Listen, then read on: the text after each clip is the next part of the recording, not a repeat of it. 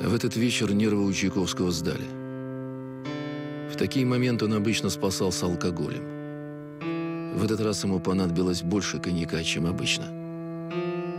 Он не помнил, как вышел на улицу и сколько прошел. Очнулся, стоя на берегу Москвы-реки. Ему было невыносимо думать, что над ним смеются, что его презирают ненавистная ему жена и теща, что своей женитьбой он выставил дураком не только себя, но и братьев, сестру, отца. Но главное, он со всей очевидностью осознал, что ничего не сможет в себе изменить. 37-летний композитор вошел в холодную осеннюю воду в надежде, что сможет покончить с опостылевшей жизнью. Расплата за гениальность. Очень много в его жизни такой расплаты.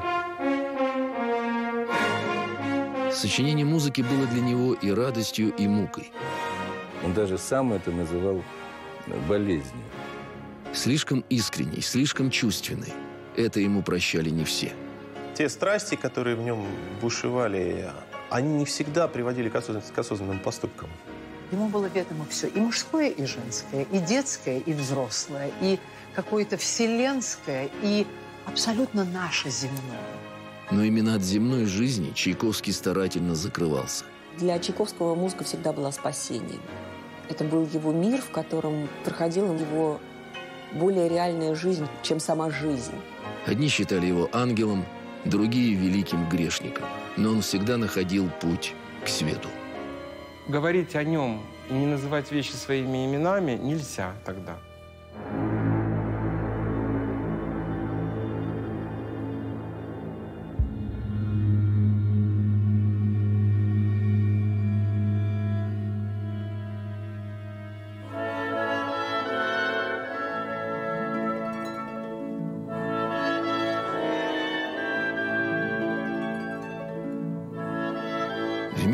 Найдется немного стран, в которых в канун Рождества в главных театрах не шел бы балет «Щелкунчик». Волшебная музыка, ставшая одним из главных символов этого праздника, знакома каждому человеку на планете. В ней слышится предчувствие лучшей жизни, надежда на перемены. Такое ощущение, что человеку хочется оторваться от земли и улететь, расправить крылья и начать жить. Трудно поверить, что эта музыка создавалась Чайковским в муках. «Ничего не выходит, кроме мерзости», – писал он. Боялся, что сочинит не балет, а гадость. Изматывал себя сомнениями. Мечтал быстрее отделаться от этой работы. «Щелкунчик» нельзя назвать музыкой счастья. Это глубоко драматический балет, глубоко драматическая музыка посреди радостного кружения появляются настолько щемящие, настолько просто прорываются, настолько невероятного трагизма куски. Во время работы над балетом Чайковский получил страшное известие о смерти любимой сестры Александры, Сашеньки. Она была всего на год младше композитора. С детства делилась с ним радости и печали. Была посвящена во все его тайные мечты – Александра умерла в 49 лет. О ее многолетней морфиновой зависимости знала вся семья. Это как раз потому такая трагичная музыка прощания с детством, прощание с тем прекрасным, что было в его жизни. Реквием по сестре – это адажио в «Щелкунчике». В его жизни было много такого, что долгие годы тщательно ретушировали и его родные, и коллеги, и власти. Они усадили Чайковского на музыкальный трон, выморов из его биографии все живое и человеческое. Лишили его сложную натуру слабости, ошибок и заблуждений. Человеческая природа и его гений – это иногда и часто абсолютно разнополярные вещи. Человек может быть одним существом, а гений – это то, что это дар –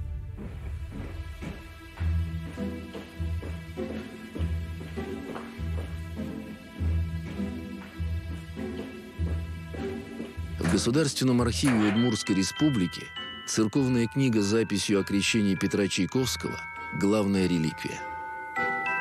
Чайковский родился и до 8 лет жил в Воткинске. Сегодня это часть Удмуртской республики, а в середине XIX века Воткинск входил в Вятскую губернию. Его отец Илья Петрович руководил Камско-Воткинским горным заводом и был самым важным человеком в городе. Рано овдовев, 38-летний Илья Чайковский женился на внучке знаменитого французского скульптора Мишеля Виктора Осье, Александре Осьер, которая была на 18 лет младше Ильи Петровича. От первого брака у Чайковского была дочь Зинаида, а Воткинские один за другим родились Николай, через два года Петр, через год Александра и еще через год Ипполит. Никого из детей в семье не выделяли, всех любили одинаково но не замечать, что Петя рос особенным, было невозможно. Он там рос в таких идеальных условиях для столь эмоционально тонкого ребенка. В доме часто звучала музыка. Илья Петрович приобрел оркестрину, благодаря чему Петя впервые услышал Моцарта, которого потом боготворил всю жизнь. Он стал подбирать мелодии на рояле и добавлять к ним свои вариации. Тогда в его голове и стала звучать собственная музыка, не давая ему покоя. Он закрывал уши руками. О, это музыка, музыка. Она у меня здесь, здесь. Э, видели, что музыка слишком сильно действует на него. Он ее воспринимает всей кожей, всем телом, каждой жилочкой. Действительно, с пяти лет музыка стала его навязчивой идеей.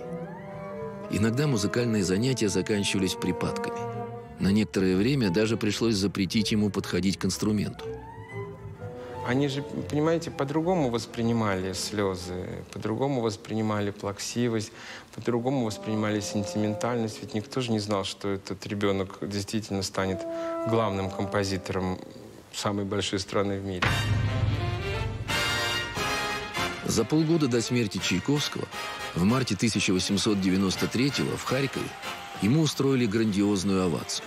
Зрители усадили композитора в кресло и на руках вынесли на улицу. Выдрузили фаэтон и отправили к фотографу Федецкому, который сделал этот знаменитый снимок. Возвратясь в свой дом в Клину, Чайковский жаловался, как утомительны ему эти чествования, что он не заслуживает их, что давно исписался, выдохся как композитор и только морает бумагу. Творческий процесс сродни наркомании. Потому что после того, как ты закончил, у тебя начинается откат. Когда ты, оглядываясь назад, считаешь, что все, что ты сделал, плохо. У него все время главное слово «неудачно», «не получилось», «слабенько» и так далее. Вот он же все критиковал в себе. Патологические мнительность и неуверенность в себе были неврожденными чертами его характера. На протяжении всей творческой жизни Чайковского, особенно на родине, его музыку ругали, не стесняясь в выражениях и голоса критиков в голове композитора звучали куда громче тех голосов, которые его хвалили. В феврале 1877 года, на следующий день после премьеры «Лебединого озера», одного из самых кассовых сегодня балетов в мире, кто-то из критиков написал, а Чайковский прочитал такую рецензию. «Лебединое озеро» был бы неплохой балет, если бы не два недостатка. Бедность фантазии – и бедность мелодическая. Ну, что после этого, пулю в лоб себе пустить? Даже сочинение, которое он исполнил на выпускном экзамене и за которое получил высшую оценку педагогов консерватории, критики разнесли в пух и прах, написав, что Чайковский оказался самым слабым из всех выпускников и что слава композитора ему не светит. Его брат тщательно скрывал эту рецензию от Петра Ильича, потому что это могло трагические последствия иметь. Он вообще мог бы выбросить эту идею о композиции. Он стал композитором вопреки всем обстоятельствам, в которые ставила его судьба. В десятилетнем возрасте родители определили Петю в приготовительный класс императорского училища правоведения в Петербурге, чтобы в будущем он сделал успешную карьеру государственного чиновника – может быть, он прожил бы жизнь нормального чиновника с нормальной зарплатой, в нормальном доме.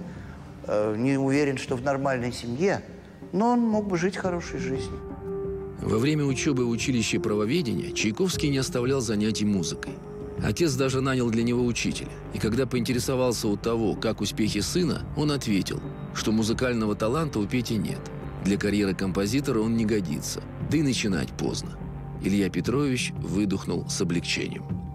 профессия музыканта всегда была не самой благодарной с точки зрения финансов и с точки зрения будущего. Большинство русских музыкантов XIX века, они имели какие-то свои основные профессии. Стать профессиональным композитором тогда не означало занять какую-то высокую социальную ступень. Это вообще поначалу казалось чем-то очень странным. Папенька выхлопотал сыну место в первом отделении департамента Министерства юстиции. На службе его хвалили, но отмечали за начинающим чиновником и некоторые странности. У него была э, такая привычка, когда он задумывался, и музыка начинала звучать помимо его воли, он первое, что попадалось на столе карандаш или бумага какая-то, он начинал брать в рот и, и грызть ее. И когда он начал работать уже в Министерстве юстиции, и вот начинает звучать музыка помимо его воли, и он берет какой-то государственный акт и начинает его грызть, что, конечно, вызывало некоторое недоумение.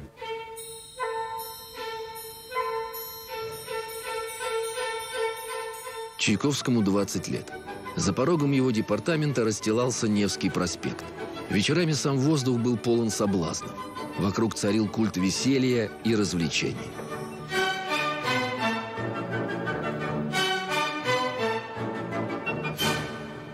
Еще студентом юный Чайковский очаровывался некоторыми своими товарищами и втайне был влюблен то в одного, то в другого.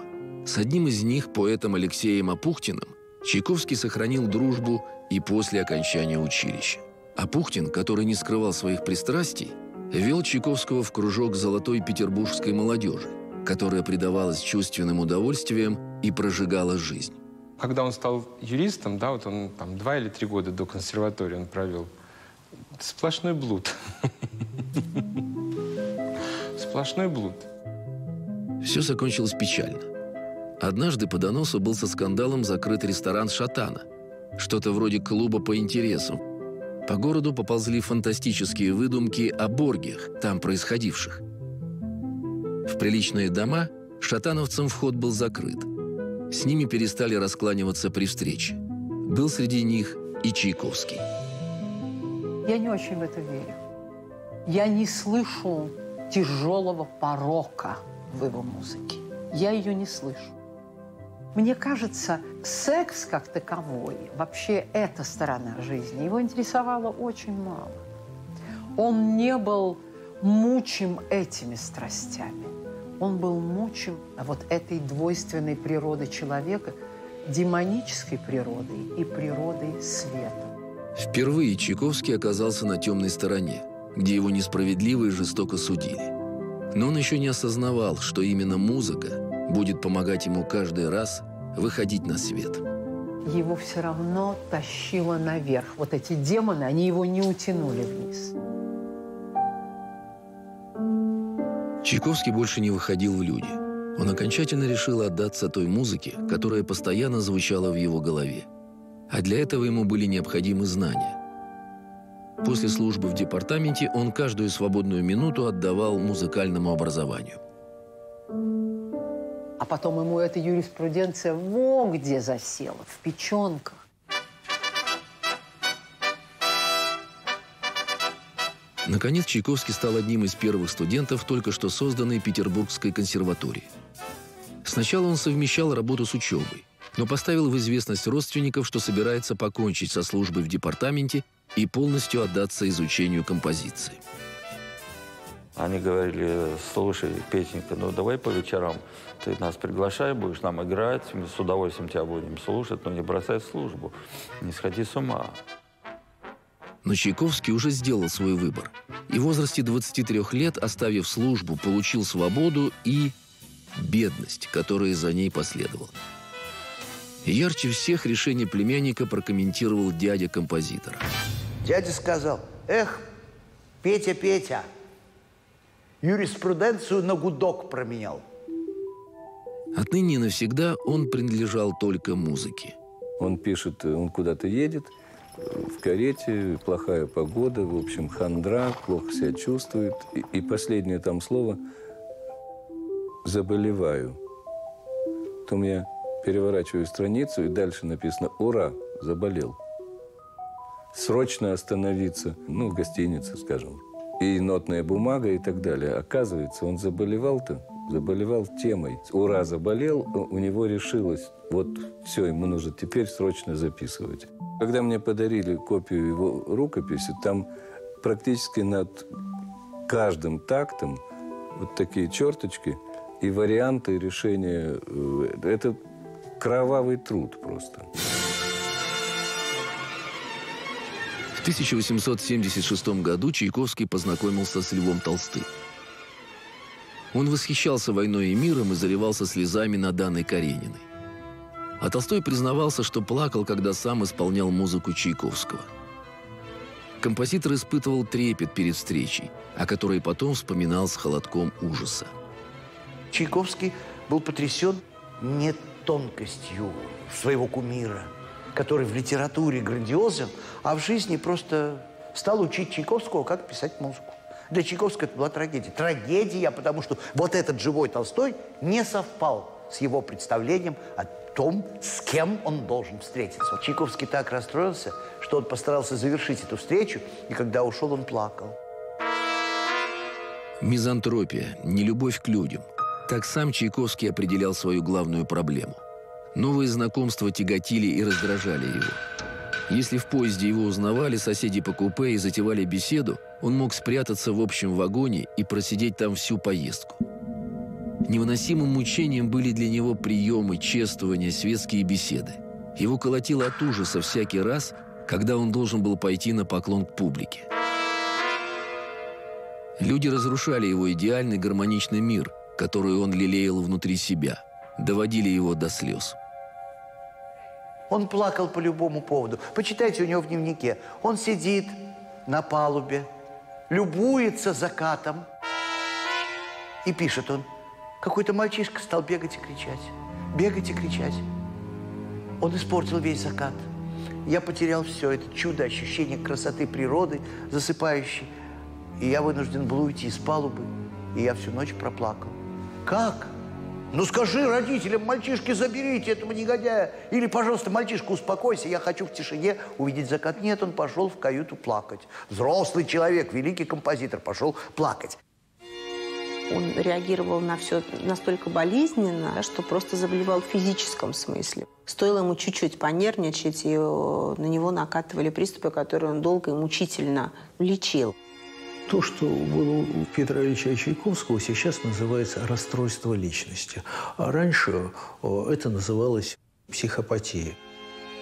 Смена настроения от нормального к депрессивному. Очень часто его близкие описывают периоды так называемой черной меланхолии, когда он находился в состоянии, когда хотелось от, всех спрятаться. Его раздражал звук часов, его раздражал шум экипажей, проезжающих на улицу.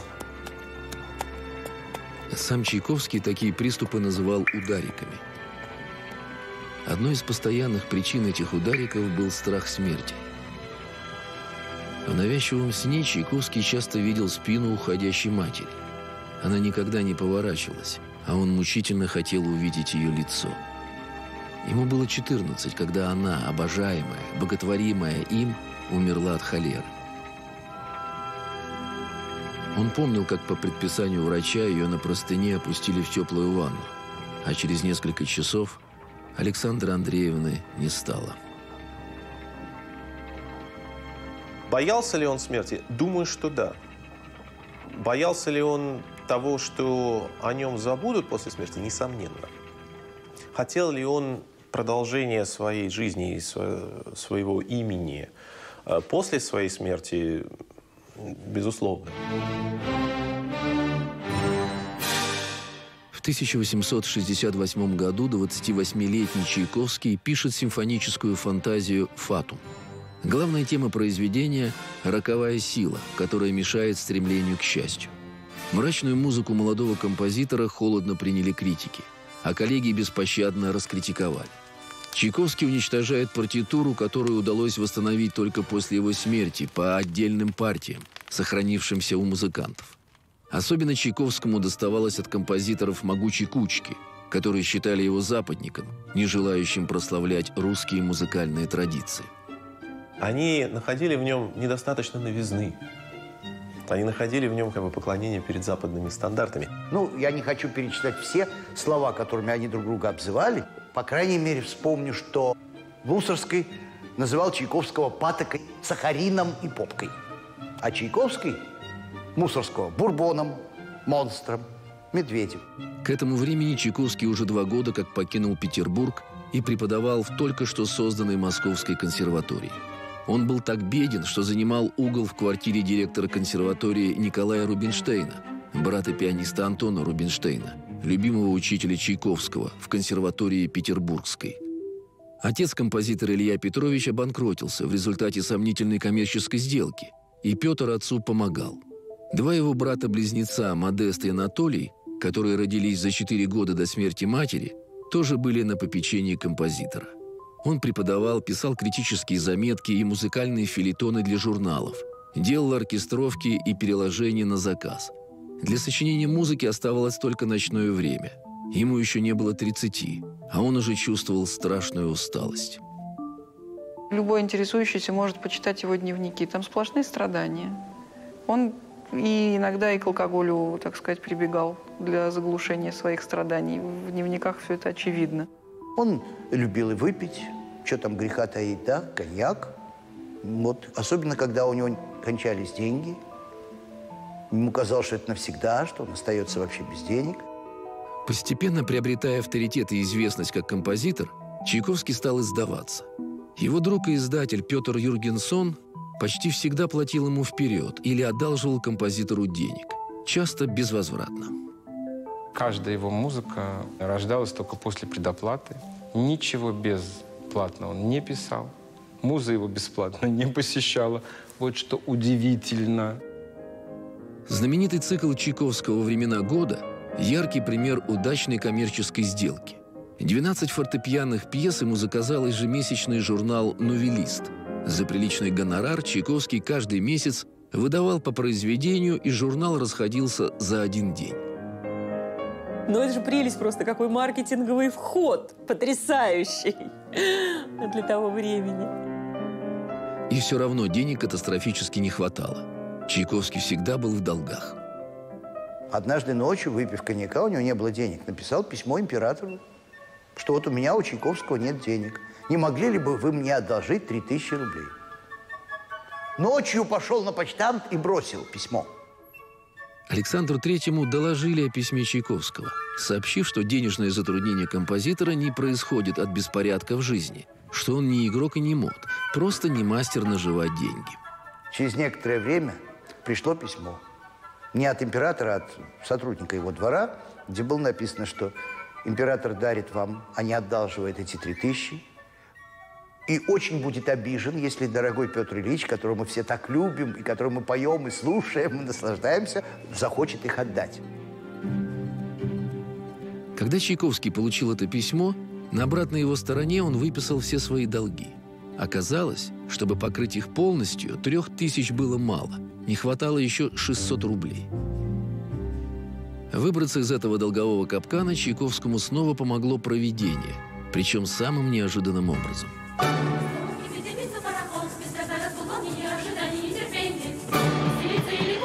в 1848 году, когда восьмилетний Петя горевал об отъезде из любимого Воткинска, в Смоленской губернии 17-летняя дочь помещика Надежда Фроловская вышла замуж за брусевшего немца Карла фон Мека, специалиста по строительству железных дорог. Характер у Надежды был властный и авантюрный. Ее тяготила жизнь на оклад мужа в полторы тысячи рублей. Яна настояла, чтобы он бросил службу и занялся бизнесом. Вскоре им принадлежала московско-рязанская линия железной дороги, а также участки до Киева и Курска. Фон Меки вошли в десятку самых богатых фамилий империи. Она родила 18 детей, семеро умерли в младенчестве. Через четыре года после рождения младшей дочери Людмилы Карл фон Мек скоропостижно скончался – Надежда Филаретовна не любила мужа при жизни, но оставалась верна супругу и после его смерти. Ее 11 детей воспитывал целый штат нянек и учителей, а она руководила бизнесом. Надежда Филаретовна была довольно жестким бизнесменом. Она руководила огромной компанией и выстроила эту огромную компанию и содержала всю свою огромную семью при помощи этой компании. Однажды в руки Надежды Филаретовны, прилично игравшей на фортепиано, попали ноты с вальсами Чайковского.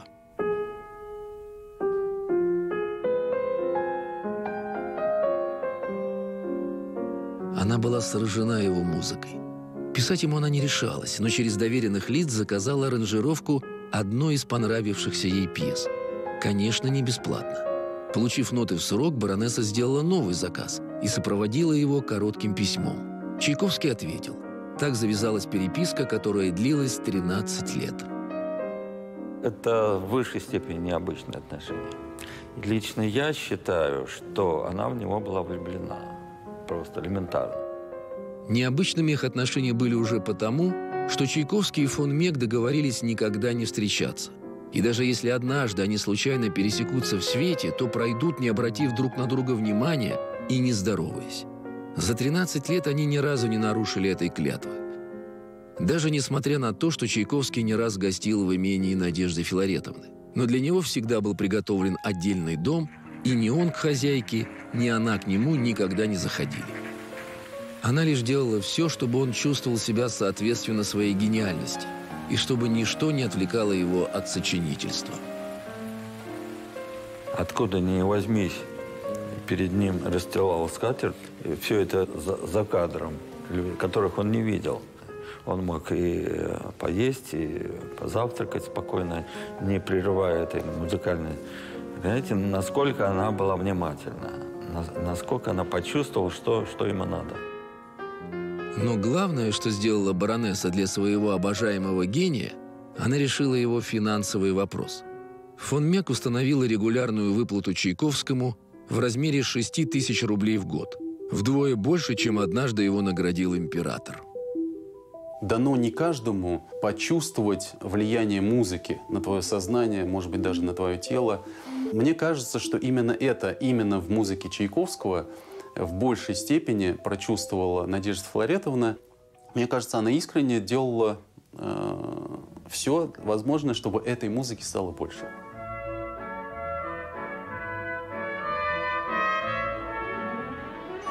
Эту виллу во Флоренции Надежда фон Мек арендовала для Чайковского неподалеку от собственного дома. Теперь, когда благодаря ее деньгам он смог оставить преподавательскую работу, Чайковский только сочинял – Здесь же, во Флоренции, но много позже, Чайковский напишет «Пиковую даму», которую впервые и поставят в местном театре. Что наша жизнь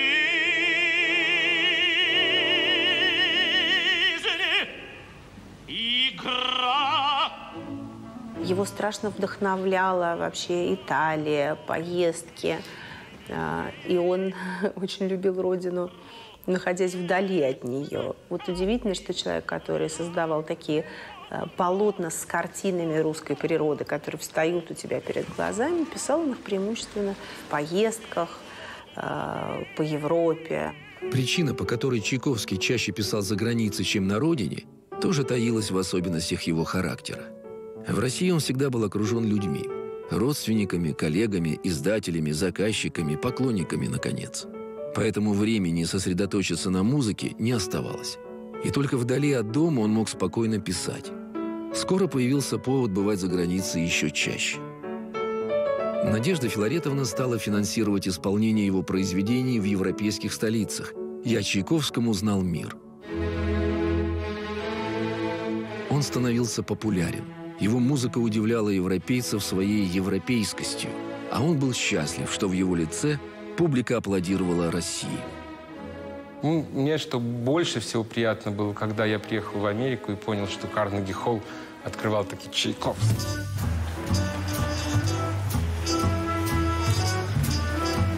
Um, Это билет на открытие 1891 года, когда дирижировал Чайковский.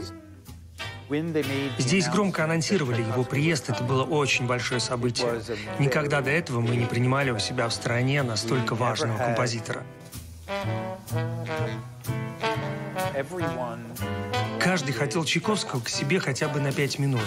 Его поселили в лучший отель Нью-Йорка, отель «Нормандия», первый отель в городе, где из крана шла горячая вода.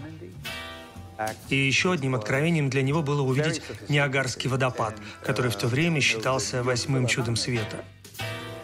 На прощание э, его пригласили повторно, пообещав ему 20 тысяч долларов за 20 дней. И это были огромные деньги, около 100 тысяч долларов в сегодняшних деньгах. Через два года регулярной переписки Надежда Филаретовна заволновалась. Петр Ильич или вовсе перестал отвечать ей, или писал слишком поспешно, отписывался. Скоро от него же она узнала, что в это время он совершил самую чудовищную ошибку, которая стоила ему здоровья, репутации и едва не стоила жизни.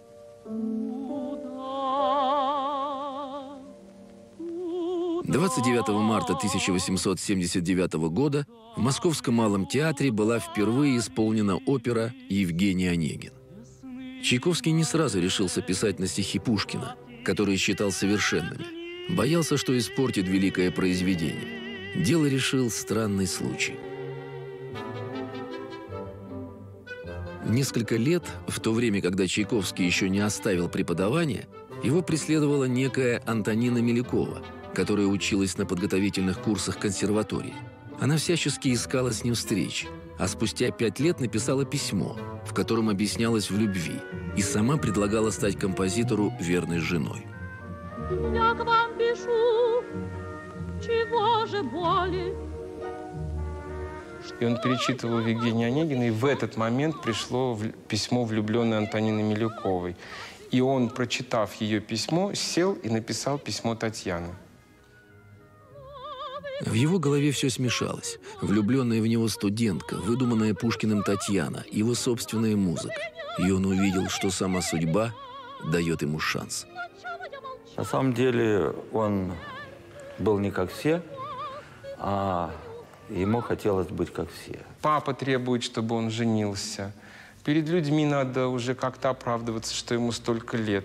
Влюбленная эта девочка.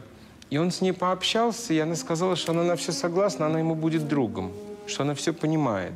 Его ошибка была в том, что он ее не спросил, а что ты понимаешь-то?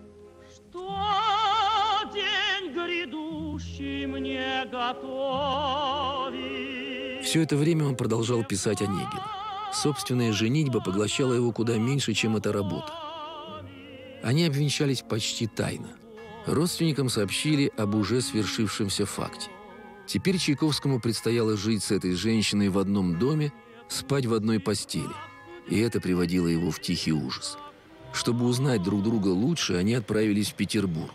В поезде, а потом в номере отеля «Европа» Чайковский понял, что натворил. Она его убедила, что она, а, она о высоком, она о возвышенном. А оказалось, что она очень вот земная и такая, знаете, ступающая четырьмя ногами на этой земле. Оказалось, что она совершенно не знала музыки Чайковского, не могла назвать ни одного произведения, не могла спеть ни одной мелодии, хотя якобы училась на вокальном отделении, на подготовительном, как сейчас бы сказали, э, консерватории. И провели они 10 дней в гостинице «Европа», вот здесь рядышком. Э, вся его совместная жизнь была ограничена этими 10 днями. На самом деле, в общей сложности в Петербурге, а потом и в Москве, Чайковский и Мелякова прожили чуть больше трех недель. Чайковский представил ее друзьям и родным, познакомился с ее родней и остался в ужасе от мелочных и склочных отношений в семье супруги. Они даже сделали совместную фотографию в ателье на Кузнецком мосту. Но Чайковский не мог не слышать и не замечать. Над ним посмеивались.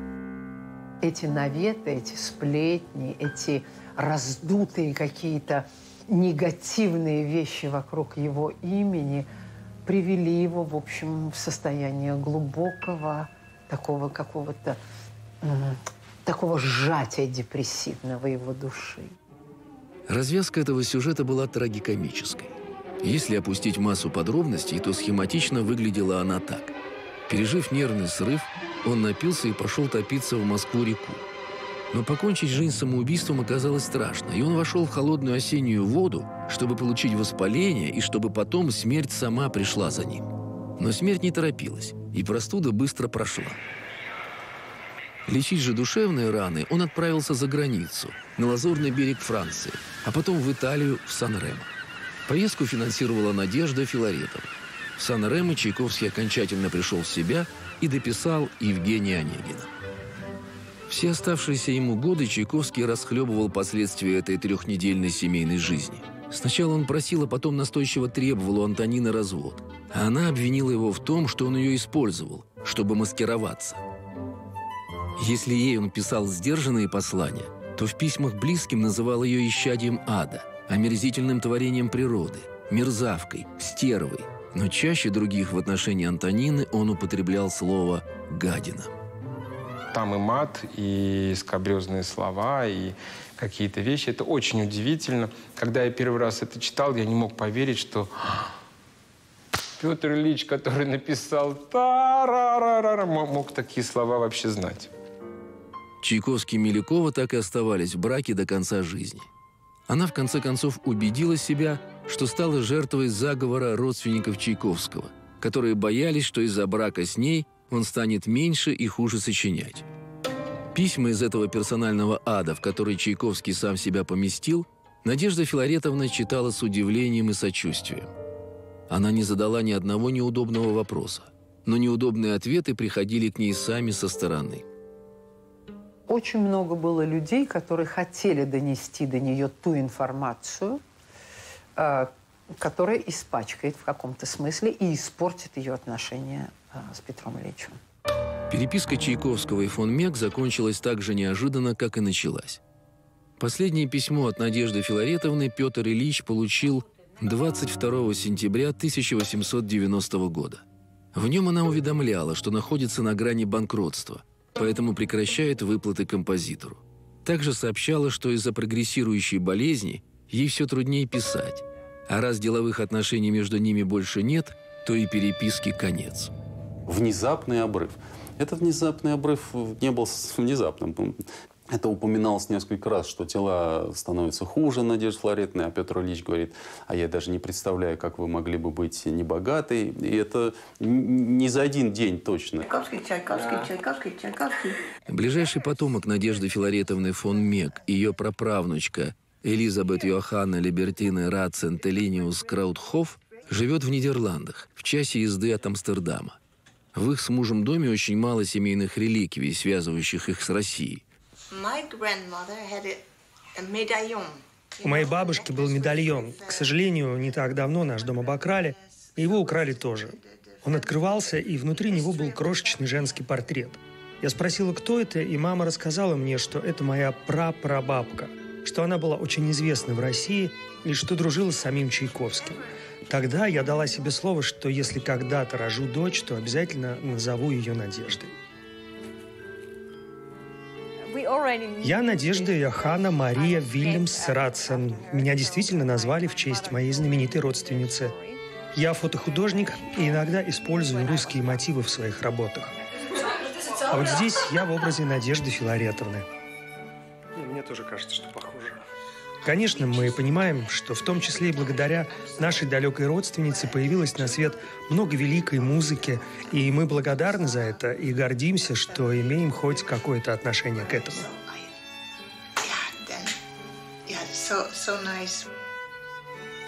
Кстати, сам Чайковский должен был посетить Амстердам в ходе большого концертного турне, запланированного на 1893 год.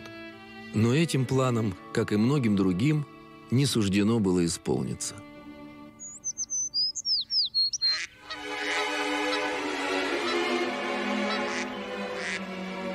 В 50 лет Чайковский, по воспоминаниям очевидцев, выглядел как старик. Он и чувствовал себя страшно уставшим.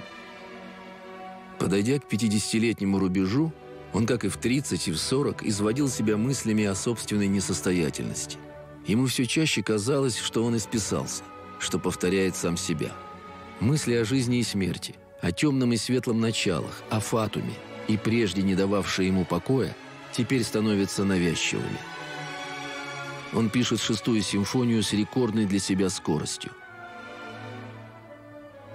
Он написал симфонию, которую до сегодняшнего дня невозможно ни определить, ни оценить, никакими психологами, никакими осознаниями. Это что-то надмирное. Исполнять ее часто невозможно, потому что она изматывает и отбирает очень много этих нематериальных сил. Премьера симфонии состоялась в Петербурге 16 октября 1893 года.